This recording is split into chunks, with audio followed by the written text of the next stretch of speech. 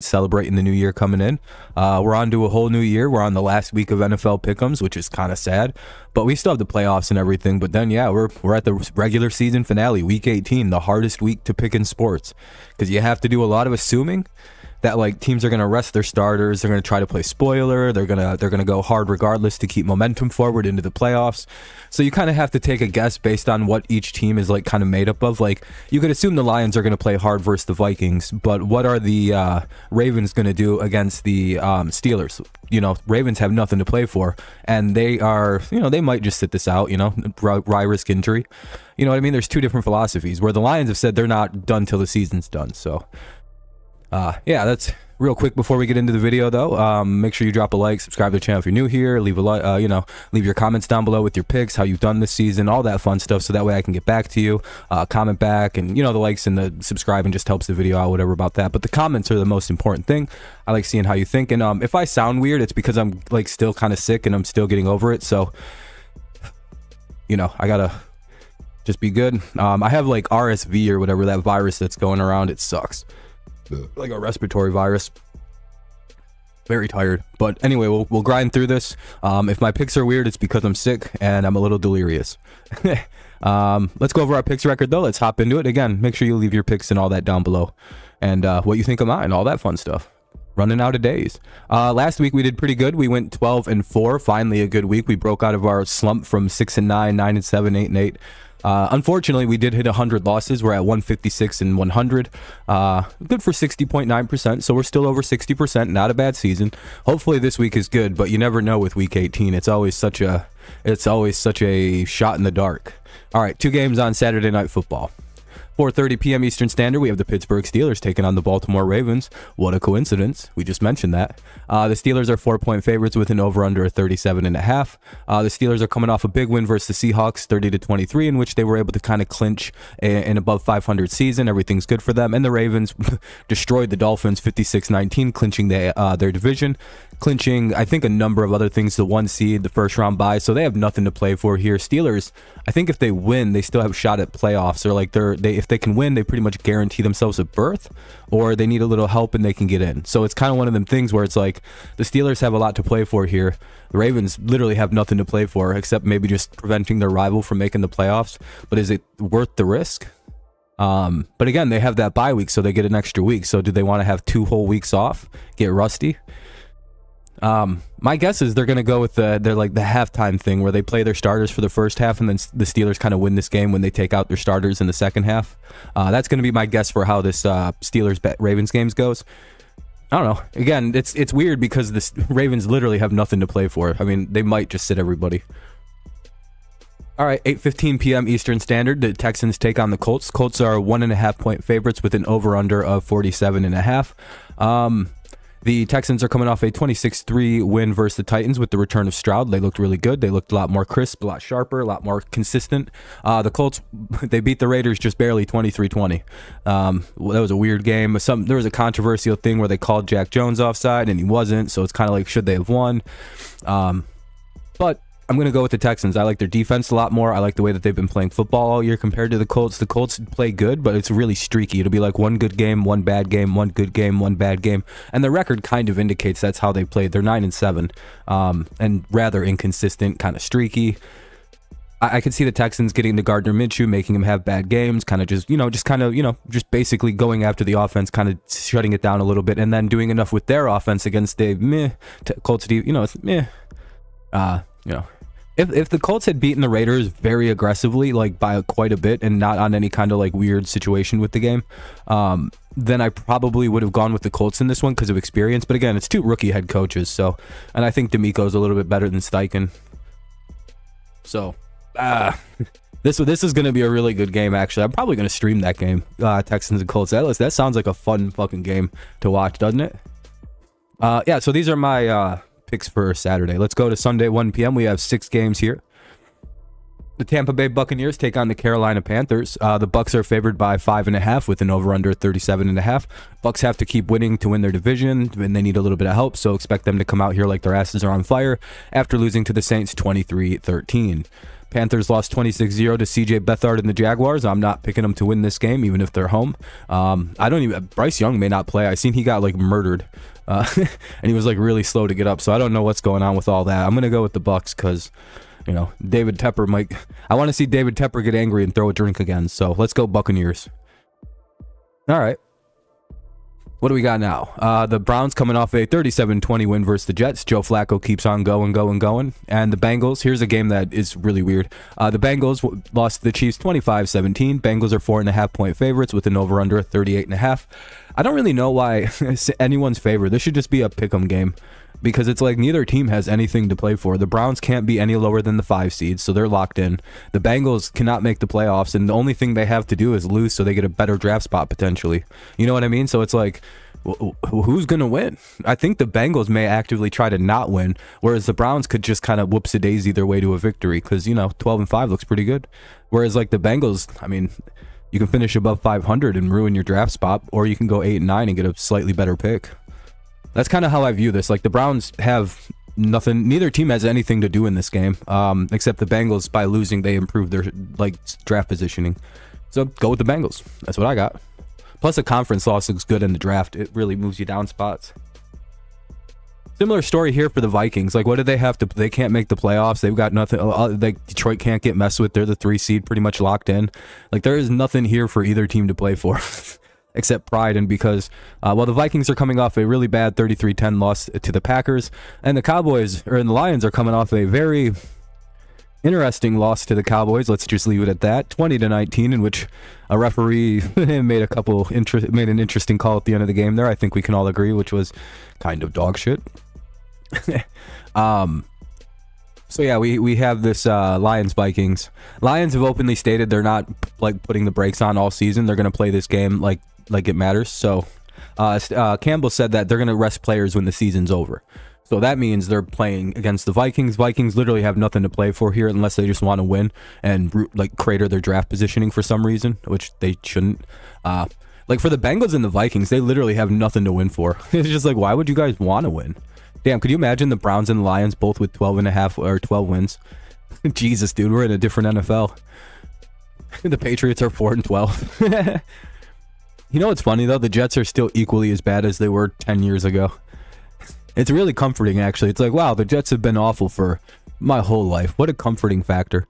Uh, the New York Jets take on the New England Patriots. Patriots are two and a half point favorites. With I know they went to like two conference championship games. I watched both of the. Ugh. We, I guess we can count that, but other than that, it's been all bad for them. Uh, Pats are two and a half point favorites with an over under a 30 and a half. The Patriots are favored because they're at home and they have like a 16 or 15 game winning streak versus the Jets. I think it comes to an end. Number one, the offense is real bad, but it's been decent. I, I don't, I don't know. I don't want to win. That's why I'm picking the Jets. I'd rather lose this game, let that streak go away in a season where we need to get this loss. Because if we win, we can go to the fifth pick or the seventh pick. If we lose, we are sticking around the two or three pick. Do you see how that works for us? So, plus, like, I think it may even get us over the Jets because, um, or the Commanders because the Jets would get, like, uh, it would improve our strength of schedule. So, again, for the Patriots, you want to lose this game. So do the Jets. This is going to be a must lose for each team. Um, and I think because the Jets are a worse team, the Patriots are going to lose this game better. I know that's confusing, but because the Patriots are a better ran organization than the Jets, they will probably be able to lose this game that both teams must lose if that makes any like there's no reason to win this game. But i feel like the jets are accidentally going to win this because they really want to end that losing streak. All right so give me the jets 13 to 10 in a very awful football game. Very defensively dominant though. We'll be live for that game. We'll be watching the jets and patriots.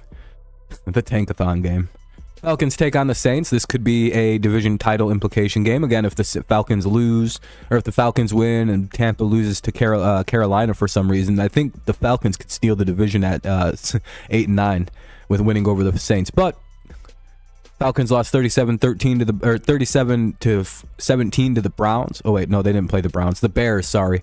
The Falcons lost 37-17 to the Bears and the New Orleans Saints lost or won 23-13 versus the Bucs. Like their magic over Tampa Bay continues. Um, I don't know. I got the Saints winning. They're home. I think their defense will shut down the Falcons' mediocre, very inconsistent, streaky offense. Um, I don't know if their defense is gonna. I mean, their defense will probably shut down a meh, Saints offense, but I, I kind of just like the Saints a bit more. I think they've shown over the year they're a slightly better team than the Falcons, especially at home. Uh, New Orleans is a tough place to play. All right, last 1 p.m. game. We got the Jaguars taking on the Titans. Jags are five and a half point favorites with an over under of 40 and a half. I'm guessing Trevor Lawrence will play. I don't know. We can revisit this game on uh, Saturday or Friday um, when we know more. Jaguars beat the Panthers 26-0. Kind of talked about that. Titans lost 26-3 uh, to the Texans. I like the Jaguars to win. Um, Titans don't really seem to be putting up a fight in these last couple games to play spoiler, so I'm going to go with the Jaguars. They should be able to completely shut down the Titans offense, and they should be able to do just enough on offense against the meh Titans defense to win the game. I'm going through these quick, but it's also because I'm a little bit sick and I don't really want to spend a lot of time talking tonight. I'm sorry. Plus, like these games are so hard to predict. I'm going to be honest with you. It's like I think this is how this is going to go. Like this game, I have a crazy upset. I don't even know why I'm doing this. Uh, the Seattle Seahawks take on the Arizona Cardinals. Seahawks are three point favorites with an over under of 47 and a half. I just feel like this is a weird game that Arizona is going to steal from somebody. Um, Arizona seems to be destined to play spoiler and win these games. It seems like they want to win. It seems like they're not losing on purpose. So expect Arizona to come out here and potentially try to end Seattle's season by beating them and just making whatever happens with the Packers and the Bears relevant. Um, potentially, you know what I mean? Like just make it more complicated, more scary. Just pretty much put a big monkey wrench, take away their own control. I really like the Cardinals to play upset here. I like the way that they played the Eagles. I didn't really like the way that Seattle played the Steelers.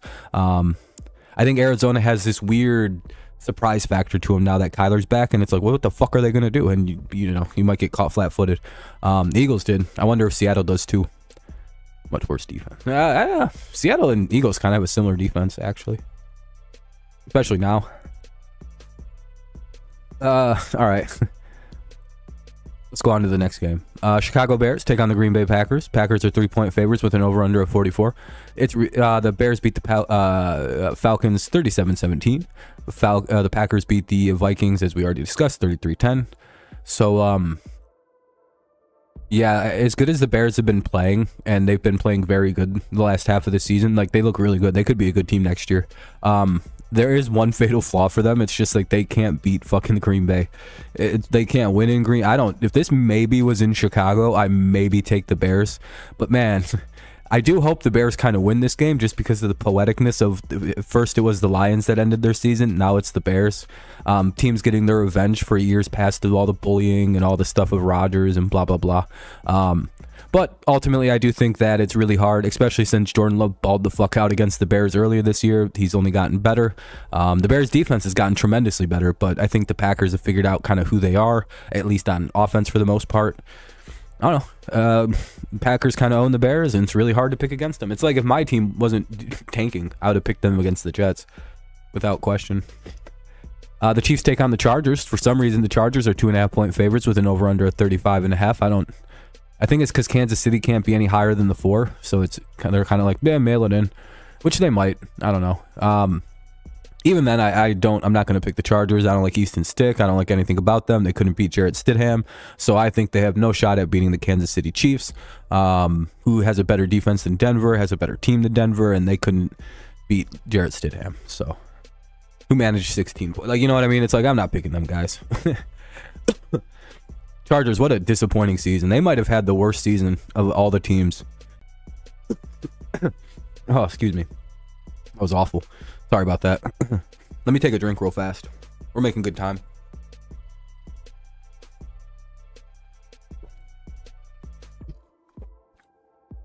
Pride game on the line. The Broncos take on the Raiders. Raiders two and a half point favorites with an over under 37 and a half yeah, I don't see Denver trying here. I think they're the kind of team that would lose for draft positioning. So, uh, you know, Sean Payton and them, they got to build. They got a whole new team to construct now that Russell's going to be gone. And yeah, they're probably just going to lose. Um, and then with the Raiders, since they're eliminated, both teams are not in the playoffs anymore. Um, the Raiders beat the Colts or lost to the Colts 23 20. We discussed. Uh, yeah, I like the Raiders. I don't know. I just think the chart or the Broncos gave up on the year, and the Raiders are the type of team that will come out and try to win this game. Because again, Antonio Pierce may be still trying to get a job, so um, you know, probably not a bad idea to try to win this one. I think Raiders might be playing better football right now, at least on defense. Uh, the Eagles take on the Giants. Eagles are five and a half point. Fa- Again, I'm sorry my explanations suck today, guys. I'm I'm really fucking fighting. This this whole day has been an uphill battle for me. um, I'm very just excited I was able to record this and get this out. I'm like, all right, cool. We got the picks video done. Thank God. uh, Eagles and Giants. Um, Eagles got upset 35-31, so they're going to be out for blood, looking to right their season, hoping to save their season and not lose the division in Week 18 uh, because Dallas won and they didn't. That would be quite comical. Uh, the Giants are they lost 26-25 pretty heartbreaking game. I don't know. I like the Eagles to win this. Again, their offense is good. Their defense has been really bad, but I don't even know if the Giants have a good enough offense to kind of mess with the the Eagles defense when it's been as bad as it has. Like they'll probably score and keep themselves in the game, but I ultimately think the Eagles will just kind of kind of persevere in this one. Sorry, I'm Excuse me.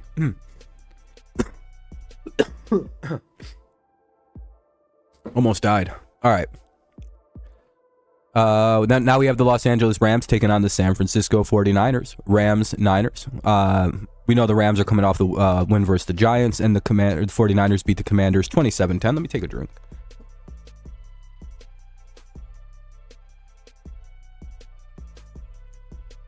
Oh my god, that was so needed. All right. Holy shit, that was gross. I'm sorry about the last minute and a half. It's all over now.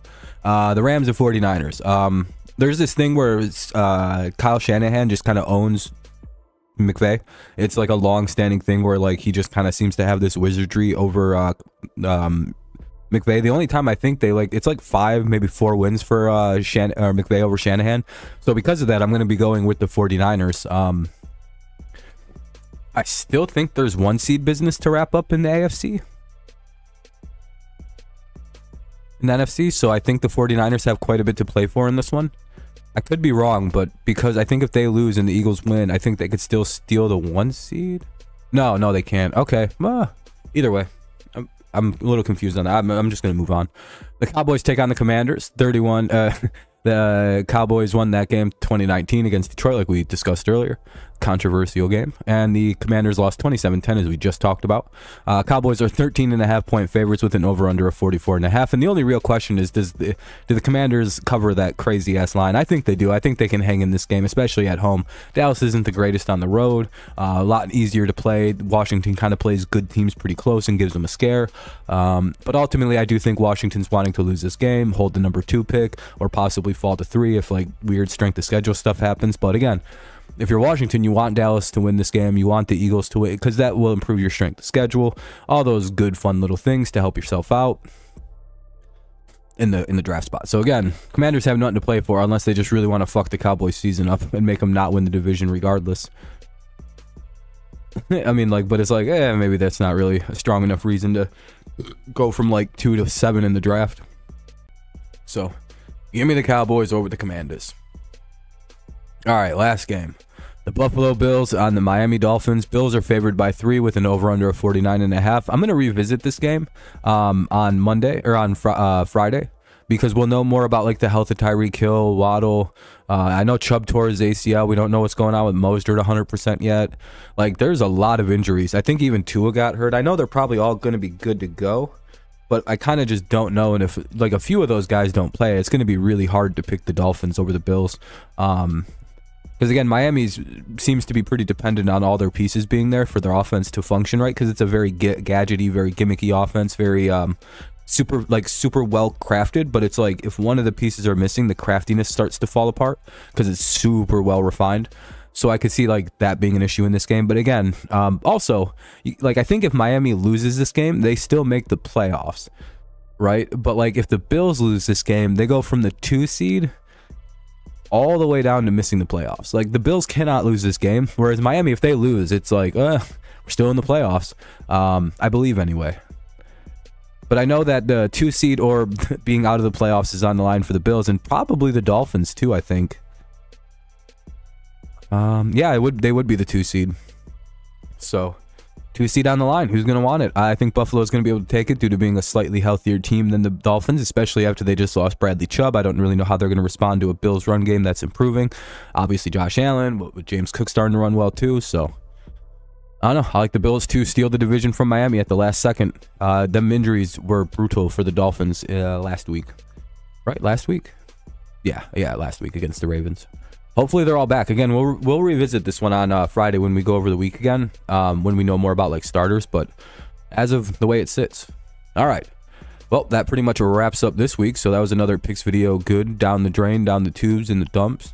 We are officially finished with the regular season pickums for this year. We got wild card, divisional round, and championship round, and Super Bowl due up next. So I can't believe we're already done. This has been a crazy year. Thank you guys so much for listening all the way through. Again, happy new year and everything like that. It's kind of cool that the first of the year is like the fat final picks video day. Um, I thought that was kind of like a weird poeticness. I was like, oh, that's kind of cool. Um, but yeah, week 18. Can't believe we're already here. Sucks. Now we have to wait all basically all the way till August again until football starts getting going again to get, go, get through the Super Bowl and then nothing. Baseball, basketball if you like it, but the dark times are coming, my friends. We're gonna be longing for the uh, for the games like the Giants and the Bears again. Bears and Panthers. Oh. Can't wait for March, and I'm like, you know, I'd even watch the that Bears Panthers replay. That sounds good. All right, though, everybody. Thank you so much for listening. My voice is pretty much shot. Um, I hope you have a good rest of your day, night, morning, mid afternoon, evening, nighttime. Uh, that time between 7 and 10 when it's like kind of like evening, but I think there's an actual time for that. I'm not 100% sure. I don't know. All right, I'm sick. I'm delirious. I'm going to get the hell out of here. You guys have a good one. Go Lions, go Tigers, and of course, it's always go Patriots. And uh, thank you so much, everybody. You rule. Bye bye.